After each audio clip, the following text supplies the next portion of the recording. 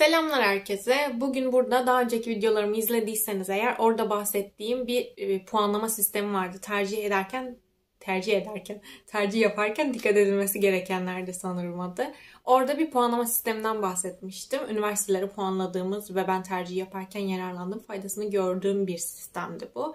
Sizlere de yardımcı olması adına bu puanlama sistemini farklı üniversitelerde okuyan arkadaşlarıma ilettim ve onların da kendi üniversitelerinin puanlamalarını istedim. Ee, bazıları açıklayarak da bunları çok güzel bir şekilde uzun uzun açıkladılar. Ben onları sizlerle paylaşmak istiyorum. Şimdi bu videoda da onları e, sizlere okuduğum, yorumladığım, beraber üzerine düşündüğüm sohbet havasında bir video çekmek istedim.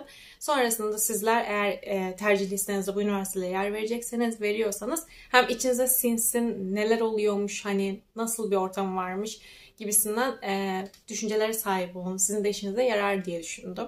Ki e, üniversiteler hakkında bilgi aldığım arkadaşlarım gerçekten bilgilerine, yorumlarına çok güvendiğim arkadaşlarım. Onların da izin verdikleri e, müddetçe aşağıda açıklama linklerini buluyor olacaksınız. Yani onlara da ulaşıp sorularını sorabilirsiniz. Sorularını, sorularınızı sorabilirsiniz. O halde daha fazla lafı uzatmayayım. Başlayalım.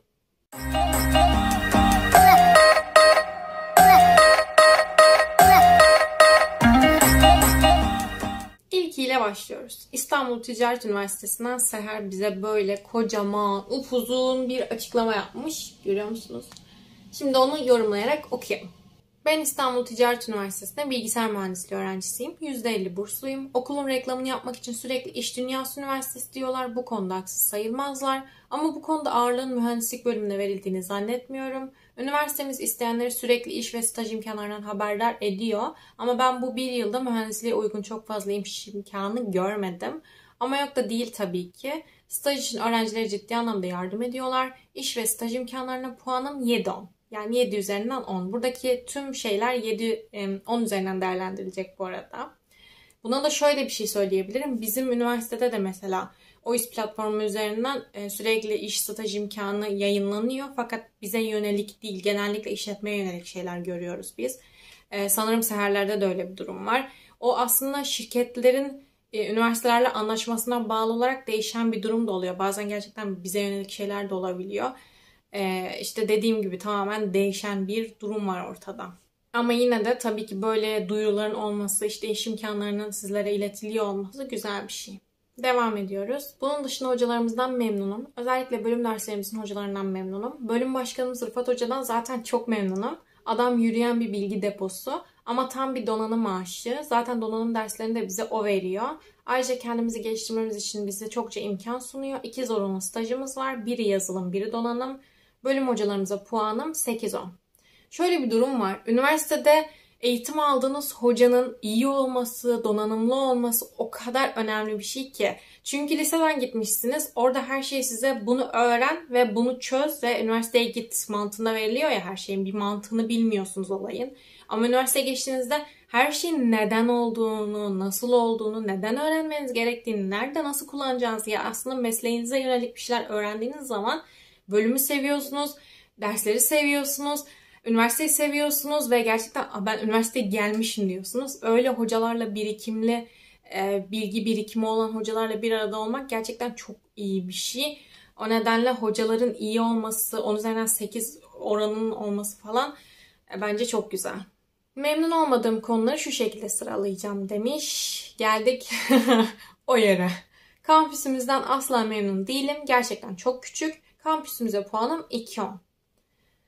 Ee, bir üniversite tercih ederken tüm seçenekleriniz tamamsa ve kampüsler arasında kaldıysanız kampüsü iyi olanı tercih etmeniz kesinlikle daha kaliteli bir üniversite hayatı yaşamınıza sebep olacaktır. Ama sırf kampüs içinde tüm nitelikleri iyi olan bir üniversiteden bir alt segmentine gitmek e, bence doğru bir tercih olmaz diye düşünüyorum.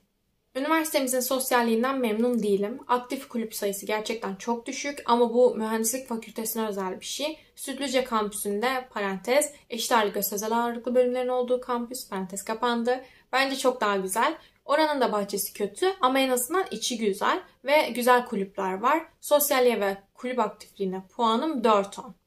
Bu durumda da şöyle bir şey oluyor. Eğer sürekli değişen sisteme sahip bir e, yönetim kurulu başkanı durumu varsa kulüplerde o gelen yönetim kurulu başkanına bağlı ve onun ekibine bağlı değişiyor aslında durum. Mühendislik fakültesindeyseniz mühendislik dersleri gerçekten çok zor, ağır dersler. O nedenle böyle şeylere vakit ayırmak zor olabiliyor ama eğer oraya gelen başkan zaten bunu yaptıysa e, bir şeyler yapmak için oradadır ve ikisini de dengeleyebilen zaman yönetimi olan insanların orada olması bazen de çok iyi hale getirebiliyor. Yani bu da aslında değişken bir şey. Fakat işte mühendislik fakültelerine genellikle bu az oluyor. Ee, nasıl olabilir? Mesela siz dahil olduğunuz üniversitenin kulüp başkanı olabilirsiniz. Ben de ayrı şeyler yaparım diye düşünerek. Böyle imkanları da kovalayın bu arada. Neden olmasın yani? Kütüphaneye gelirsek ki bu gerçekten çok önemli bir konu. Mühendislik fakültesinin kütüphanesi berbat. Asla çalışmak için yeterli alan yok. Kütüphanede 100 kişilik bile yer yok. Çok güzel mühendislik kitapları var ama bunun dışında kitap sayısı da çok az.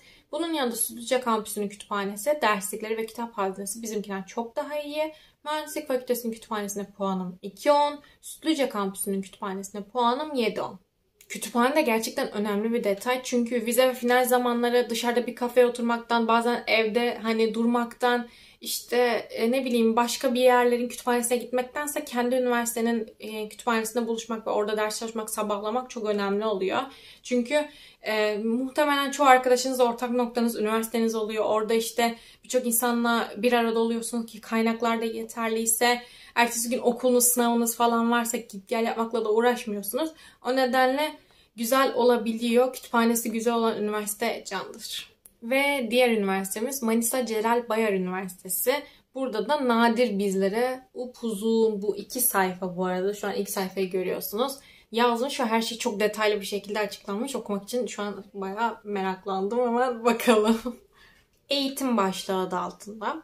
Öğretmenler eğitim içeriği öğrenci dostluğu açısından 10 üzerinden 8 bir seviyede. Okul kaliteli bir eğitim kadrosuna sahip yazılım alanında ve Türkiye'de yazılım mühendisliğinin açıldığı ikinci üniversite olduğu için sistemi oturmuş durumda.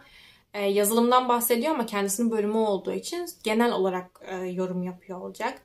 Öğretmenler ise çok öğrenci dostu. Öğrencilerin en anlayabileceği şekilde anlatıyorlar dersleri. Slaytlar ise detaylı bir şekilde hazırlanıyor. Sınavları öğrencilerin konuyu öğrenmesi, kendini test etmesine yönelik hazırlıyorlar. Yani öğrenciyi dersten bırakma kafasına değiller. Günü gününe derslere düzenli bir şekilde çalışırsanız rahatlıkla yüksek notlar alabilirsiniz. Öğretmenlere Gmail, Microsoft Teams, Telegram üzerinden ulaşım çok kolay ve geri dönüş yapıyorlar. Okul odalarına müsait zamanlarda gidip tavsiyeler alabilirsiniz. O an müsait değillerse bile başka bir zaman mutlaka konuşuyorlar sizinle. İnternet üzerinden müsait olduğu zamanı sorup okulda hocalarla bir araya gelmek de kolay. Birkaç zıt anlayışlı öğretmene denk gelebilirsiniz ama onlar da öğrenci kafasına bırakma e, mantığında değil. Hocalar genel manada öğrenci dostu demiş. Ya hocaların gerçekten öğrenciye e, zaman ayırması çok önemli. Çünkü çoğu üniversitede duyduğumuz şey işte git başımdan zamanım yok. İşte o egoist hocalar oluyor çoğu üniversitede ve bu öğrenciyi e, birçok bakımdan hani eksi bir şekilde e, geri dönüşü oluyor öğrenciye. Hani mesela bir konuda bir şey, bir tavsiye almak istiyorsun, bir şey sormak istiyorsun, kendini geliştirmek istiyorsun, hocana gidebilirsin. Çünkü en yakınında o var. Bir şey bilmiyorsan eğer başlangıçtaysan ki biliyorsan bile yani o hoca oradaysa sana bir şeyler öğretebilmek için değil mi yani? Adana gitmek istersin. Ve gittiğin zaman ters bir cevap almak senin dersten soğumana falan da neden olabiliyor. O nedenle hocaların yardımcı olması, sonrasında geri dönüş sağlaması hele ki bir devlet üniversitesinde bence çok güzel bir şey. Tavsiyem şu demiş. Okula geldiğiniz zaman tamam ben yazılım mühendisliği kazandım yeterli kafasında olup dersleri boşlamayın. Yazılım çok geniş bir alan. Sadece okulda gördüklerinizle yetinip kendi başına çalışmazsanız iş hayatınıza girdiğinizde çok sıkıntı yaşarsınız. Okulda size yazılımla ilgili genel bir bakış, gerekli kaynaklar, çalışma stili, yol haritası veriliyor. Sizin okula gördüklerinize ek olarak bireysel çalışmalar yapmanız gerekiyor. Burayı kazanan öğrencilerin Fatih Yücalar'ın derslerine ekstra özen göstermesini tavsiye ediyorum demiş. Yazılım alanında gerçekten bu önemli bir şey çünkü aslında her bölüm için önemli. Çünkü Üniversiteden aldığınız bilgiyle kendi gelişiminizi tamamlamış olmuyorsunuz. Mutlaka dışarıdan bir şeylerle kendi ilgi alanınıza yönelik bir şekilde kendinizi kapatmanız ve o farkı yaratmanız gerekiyor. Eğer gerçekten e, çalıştığınız, ilgilendiğiniz alanda fark yaratabilmek ve güzel bir şekilde meslek hayatınıza başlayabilmek için bence. Turgutlu demiş. Turgutlu 170 bin nüfuslu bir ilçe. Kendi çapında gelişmiş bir ilçe. Çok fazla parka sahip. Tüm ihtiyaçlarınızı karşılayabileceğiniz bir çarşısı var. Kafeler Caddesi'nde birçok kafe var. Irlamaz adında büyük bir park var. Merkezde bir yer olmamasından kaynak sosyallik açısından pek de avantajlı değil. Ama İzmir'e çok yakın. 40-45 dakika mesafede. Hafta içi derslerle ilgilenip hafta sonu İzmir'e gidebilirsiniz. Fakülteye 10 dakikalık mesafede İzmir'e giden otobüsler var. Eskiden bir biniş öğrenciler için 10 lira falandı ama bu ekonomik krizde 35 liraydı en son. İleride artar mı azalır mı bilemem. Trenle de gidiş var ama İzmir'e trenle 2 saat sürüyor. Ee, ama daha ucuz bir fiyata, yarı yarıya bir fiyata götürüyor demiş. Turgutlu sanırım üniversitenin olduğu ilçe. O nedenle İzmir'e de yakın olması bir avantaj bu arada. Hani il bazında, ilçe bazında bir şey yoksa bile 40-45 dakika İstanbul'da yaşayan biri olarak çok iyi bir şey bence. öğrenci grupları. Merkez kampüste olmadığı için öğrenci sayısı az ama yeterli seviyede. E, ilgi alanınıza göre öğrenci grupları var. 10 üzerinden 6 demiş. Gerek eğlence amaçlı gerek mesleki bilgi amaçlı öğrenci grupları var. Derslerin azaldığı dönemlerde iletişime geçerek öğrenci gruplarıyla gezilere katılabilirsiniz. Fakültede genç ofis var. Burada konferanslar veriliyor ve ilgi alanınıza göre proje ekiplerine katılabilirsiniz. İzmir'e ve Muradiye'ye konferanslara gidiş gelişler oluyor demiş. Kampüs 10 üzerinden 2 demiş. Bak yine geldik yaralı yere. Okul merkez kampüse bağlı değil. Okulun merkezi Muradiye ilçesinde yazılım mühendisliği Turgutlu'da, Turgutlu'da teknoloji fakültesinde Hasan Ferdi Turgutlu Teknoloji Fakültesi'nin de bir kampüsü yok. Küçük bir bahçesi var, birkaç bank falan demiş. Hmm, anladım. Yani durum şu. Eğer merkez binada olan bir bölümdeyseniz şanslısınız. Kampüsünüz var ve eğer teknoloji fakültesindeyseniz 200 10 2 10 2 10 üzdü. ya nedir arkadaş bu mühendislerin kampüsünün olmaması? Hayır yani kafamız dersten kaldıramıyor olabiliriz ama bırakın bizi çimenlerimizde çalışalım yani. Of. Ve Ankara Bilim Üniversitesi'nden demiş ki Selam. Öncelikle genel bir bilgi vermem gerekirse. Okul 2 yıllık bir okul. Önümüzdeki eğitim hayatına girmemizde 3. yılı başlamış olacak. Yani yeni açılmış bir okul. %100 eğitim vermesi %100 ee, İngilizce demek istemiş galiba. Okulun en büyük avantajlarından Kampüsü değerlendirmem gerekirse okulumuzda ilk iki yıl itibariyle kampüs yoktu. Eskiden lise olan bir binada eğitim gördük. Aynı zamanda okulun konumu oldukça kötüydü. Ulaşım çok zordu. Ancak bu yıl daha merkezi bir yere geçiyoruz ve okul tarafından verilen bilgiye göre oldukça büyük bir kampüse sahip olacağız demiş. Hmm, güzel. Umarım bir gün biz de. Neyse devam ediyorum.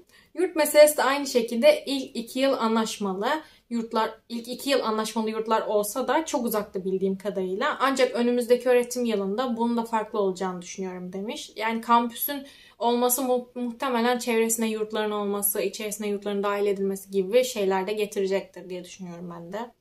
Okulun en büyük artısı az kişinin az kişi olmanın getirdiği avantaj ile hocalarıyla çok rahat bir konuşma ortamı oluyor ve rahat bir şekilde iletişim kurabiliyorsunuz. Günümüz üniversitelerindeki sert hoca algısının bizde çok olmadığını söyleyebilirim. Bahsettiğim bu ego olayı sert hoca olarak da geçiyor. Yani e, genellikle devlet üniversitelerinde hocalar gerçekten öğrenci kalabalığı olduğu için öğrencilere yeterli ilgiyi gösteremiyorlar. Bu nedenle yeni kurulmuş üniversitelerde bu imkanı görebiliyoruz gerçekten. Bu hoca konusu gerçekten kanayan bir yara olabilir. Özellikle e, yeni açılan üniversitelerde, köklü olmayan üniversitelerde gerçekten iyi hoca bulmak zor. Hani hoca kendi içerisinde çok şey biliyor olabilir, e, kendi işini çok iyi yapıyor olabilir ama aktarmaya gelince herkes anlatamaz arkadaşlar. Herkes iyi bir anlatıcı değildir ve bu bir hani eksiklik değildir ama bu bir öğretmen, bir hoca olamayacağınızın göstergesidir. E, fakat bazı hocalarımız bunun farkında olmuyorlar ya da bazen sektördeki açıktan dolayı mecburen e, dahil oluyorlar falan öyle bir durum da olabiliyor. Topluluk konusuna gelirsek okulda topluluklar oldukça yetersiz olan topluluklarda ise bir iki tanesi dışında hiçbiri nitelikli bir şey üretmiyor demiş. Okulunda bu topluluklara yeterince destek olduğunu söyleyemem demiş. Ee, şöyle de bir artı var arkadaşlar. Yeni kurulmuş üniversitelere gidiyorsanız kulüp açma ihtimaliniz çok daha kolay. Yani çok daha yüksek. O nedenle eğer aklınızda bir fikir varsa, üniversitede daha önce kurulmamış, genelde her üniversitede olan kulüpleri kurup bunları yapabileceğinizi düşünüyorsanız, ilgiliyseniz kesinlikle sizin için artı olacaktır. Ve orada işte güzel işlere de imza atabilirsiniz. Ve Birioni Üniversitesi ile devam ediyoruz. Kampüs 4-10. Dersler eksi katlarda işleniyor. Dışarıyı göremiyoruz. Uykumuz gelebiliyor ama orta halli bir bahçesi var. Yine de o yüzden hadi 5 demiş. E, sadece ona özel bir durum da olabilir. Bu da tabii kötü bir durum. Ama kampüsün hadi 5 olsun demesi orta halli. Görüyorsunuz ki ikiler havada uçuşuyor çünkü. Hoca kalitesi 3-10 demiş. Hoca çeşitliliği çok az. Bazen aynı hoca 3 dersi veriyor. Ders çeşitliliği 1-10. Seçmeli ders yok. Hepsini okul belirliyor demiş.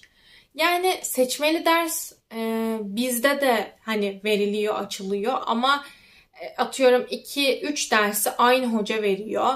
İşte e, biri toplumsal cinsiyet atıyorum. Biri işte e, neydi? Ya aynı sosyoloji üzerinde de gidebiliyor. Belli alanlar üzerinde falan da gidebiliyor. İşte o alanlarda size hangi alanlarda yetkinlik sağlanması isteniyorsa, bekleniyorsa.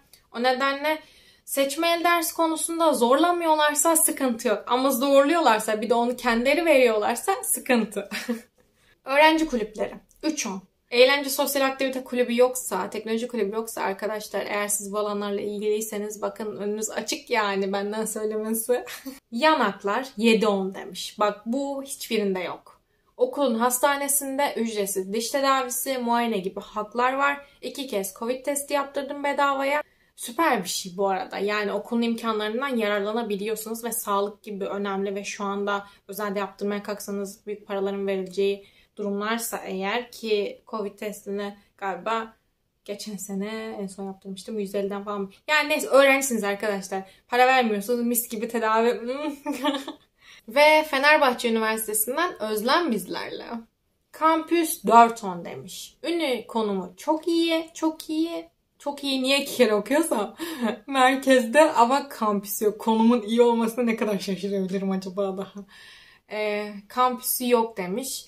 Yani aslında konumunun da merkezi bir yerde olması çok güzel bir şey. Çünkü ulaşımı rahat yaparsınız. işte kalacak yer imkanını güzel sağlarsınız. Belki konum iyi olduğu için pahalı olabilir ama hani belki KYK falan vardır yakınında. Ama her türlü uzakta bile yaşıyor olsanız konum merkezi olan bir yere ulaşım her zaman sıkıntı yaratmayacaktır. Belki sadece trafik size sıkıntı yaratacaktır diye düşünüyorum.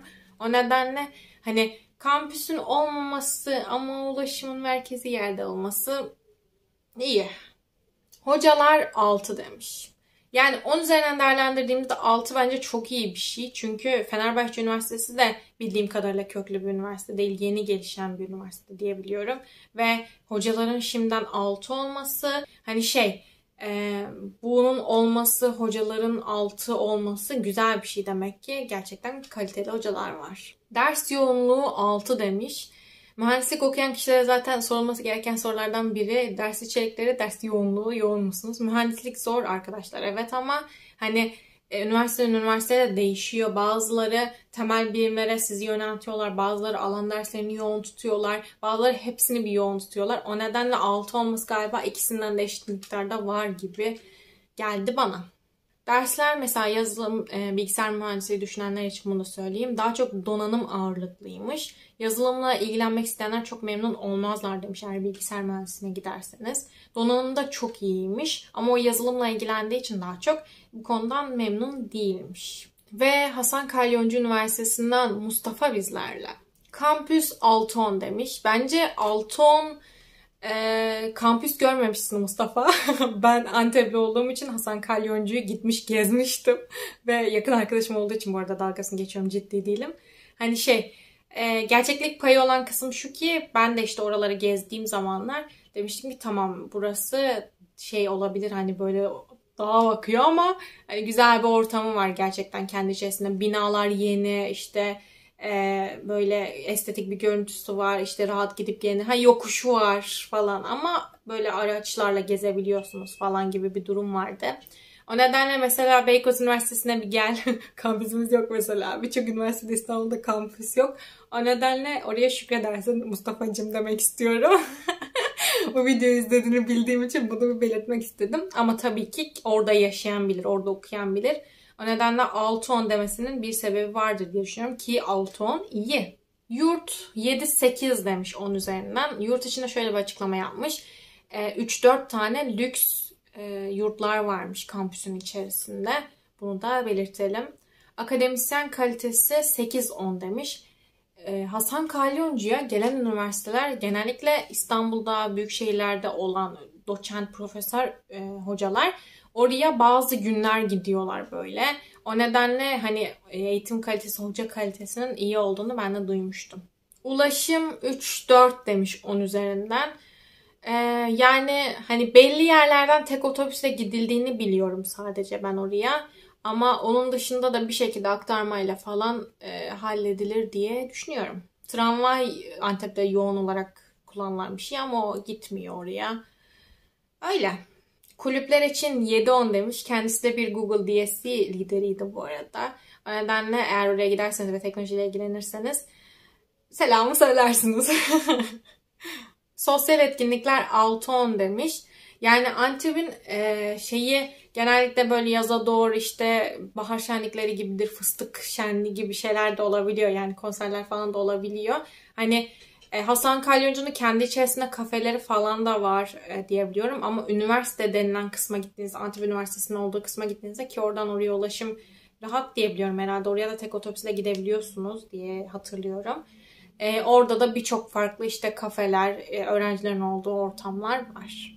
Ve bitti. Sandığımdan zaten uzun sürdü okuyup yorumlaması gerçekten uzun süren bir şeymiş. Ben normalde hani insanlardan birebir bir şekilde e, online bir görüşme sağlayıp ya da yüz yüze gelip çekmek istiyordum. Bunları daha detaylı sorularımı sormak ve sizin de daha iyi cevaplarınızı alabilmek ama baktım ki zaman az ben yetiştiremiyorum. Zamanı ayarlayamadım. Böyle bir şey yapalım dedim. Umarım işinize yaramıştır ve umarım e, aklınızda olan soruların cevabını alabilmişsinizdir diye düşünüyorum. Başlangıçta da belirttiğim gibi açıklamaya koyduğum linklerden e, o kişilere, bahsettiğim kişilere ulaşıp sorularını sorabilirsiniz. Selamımı söyleyin, cevaplarlar. İşte bu şekilde. Eğer başka bir sorunuz varsa yorumlarda, DM üzerinden her türlü iletebilirsiniz. Seve seve cevaplamaya çalışırız. Ben de eğer o kişilere ulaşamazsanız oradakilere e, bir şekilde ulaşıp sorularınızı iletmeye çalışırım. İzlediğiniz için teşekkür ederim. Umarım dediğim gibi işinize yaramıştır. O halde görüşmek üzere. Başarılar diliyorum. Umarım istediğiniz gibi sonuçlanır tercih. istediğiniz gibi sonuçlanır tercih süreci. Görüşmek üzere. Beğendiyseniz abone olmanızı, beğenmenizi falan da beklerim. Hadi öptüm. Bye.